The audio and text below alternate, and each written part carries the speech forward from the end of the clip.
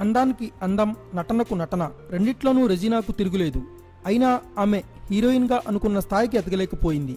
రవితేజ సాయిధరం గోపీచంద్ లాంటి హీరోల ప్రక్కన నటించి నెక్స్ట్ రేంజ్ హీరోల్ని కూడా అందుకునేలా కనిపించిన రెజీనా ఎందుకో కానీ సడన్గా డౌన్ అయింది.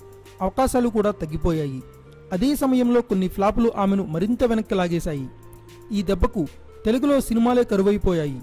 దాదాపు ఏడాది నుంచి టాలీవుడ్కు దూరమైపోయింది రెజీనా. ఇక ఈమెకు మళ్ళీ తెలుగులో ఛాన్సులు దొరకడం కష్టమే అనుకున్నారంతా. అయితే లేకలేక ఆమెకు టాలీవుడ్లో ఒక సినిమా తగిలింది. అయితే ఇది రెజీనా స్థాయికి తగ్గ ఆఫర్ మాత్రం కాదు. దిలీప్ ప్రకాష్ అనే కొత్త హీరో ప్రక్కన నటించబోతుంది రెజీనా. అర్జున్ సాయి అనే కొత్త దర్శకుడు రూపొందించబోయే ఈ చిత్రం పేరు హరే రామ హరికృష్ణ అనూప్ రూబెన్స్ రసూల్ ఎల్లోర్ లాంటి ఫేమస్ టెక్నీషియన్స్ ఈ సినిమాకు పనిచేస్తున్నారు. మరి ఈ సినిమా అయినా రెజీనా రాత మారుస్తుందేమో చూడాలి. తెలుగులో ఆమె చివరగా నటించిన సినిమా నక్షత్రం విడుదల విషయంలో ఇబ్బందులు ఎదుర్కొంటోంది.